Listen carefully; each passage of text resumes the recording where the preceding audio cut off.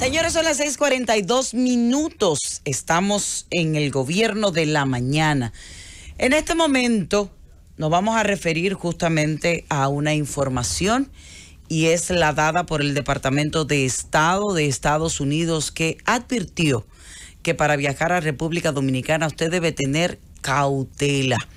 Debe hacerlo con cuidado, pero otra advertencia todavía mayor es que aparte de esa, también dijo que si usted quiere salir afectado del COVID-19, solamente tiene que viajar al país, porque República Dominicana se encamina o está ya en otro brote de la pandemia. Estoy de acuerdo, señores, a informaciones dadas por Estados Unidos y el Departamento de Estado. Lo primero, habla de la criminalidad que tiene la República Dominicana. Yo le voy a preguntar al Departamento de Estado de Estados Unidos, ¿y la criminalidad que tienen ustedes en sus calles?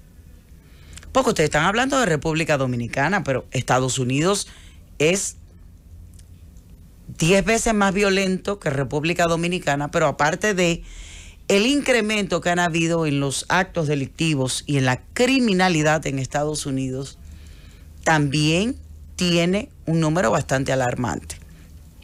Es bueno hacer leña del árbol caído, caerle a República Dominicana. Esto significa que de alguna forma el Departamento de Estado quiere que el gobierno de Luis Abinader le responda en algo.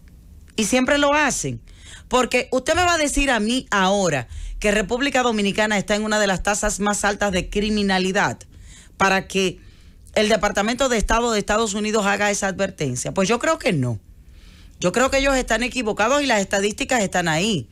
Estamos hablando de que República Dominicana tiene a lo mejor, excepto lo de La Vega, que como en una película, eh, cuatro tipos se metieron a una farmacia, se llevaron 700 mil y pico de pesos, además de otras cosas, a bofetear y golpear a unas personas mediante el proceso y que parece que en el día de ayer esa misma red pues siguió en sus haberes delincuenciales.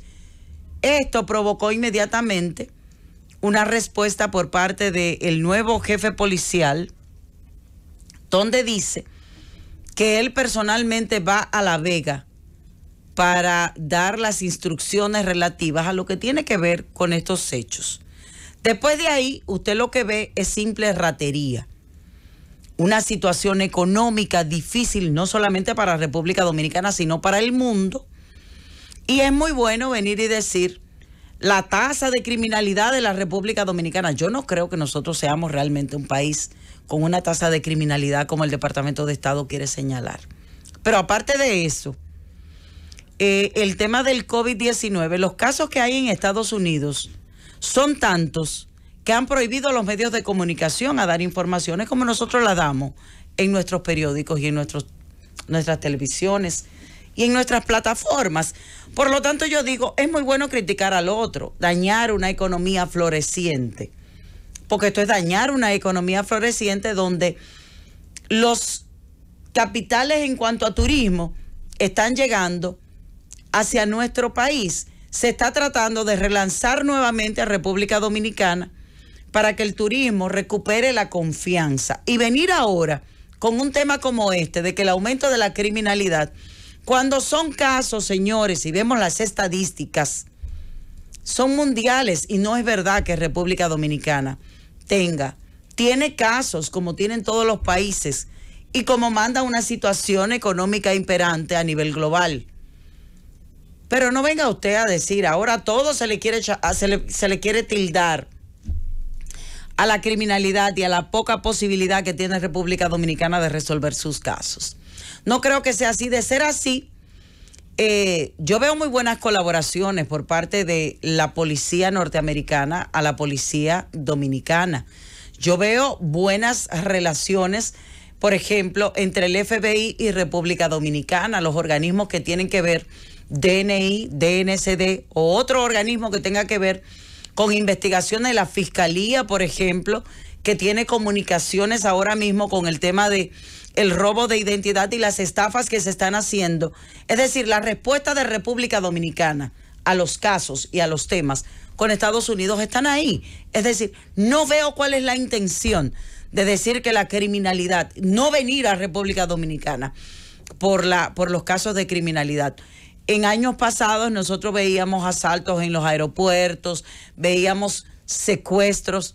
Nosotros no estamos viendo eso aquí, estamos viendo ratería, estamos viendo robos, como se ve en toda sociedad, ante una situación como la que está imperante en, el mundo. Y en Estados Unidos que está colaborando con un gobierno que tiene la firme decisión de una reforma policial para mejorar eso que tú hablas, esa seguridad y garantizar la paz y que las personas puedan transitar sin ningún tipo de temor en las calles dominicanas. Ahora habrá que, habrá que ver qué tipo de interés está marcado para perjudicar, porque no solamente perjudicaron con el tema de la alta criminalidad, sino que también lo hicieron con el tema de la pandemia. Y hay que decir, señores, que aunque hay una alta positividad en nuestro país, en comparación con otros países, todavía nosotros estamos bien. Ahora, tenemos como ciudadanos la responsabilidad de hacer un llamado en este momento a todos los ciudadanos para que empiecen nuevamente esos protocolos de atención y de cuidado para evitar que el tema de la pandemia continúe eh, afectando y tomando víctimas como lo que estamos viendo ahora, los diferentes casos y los números como están subiendo.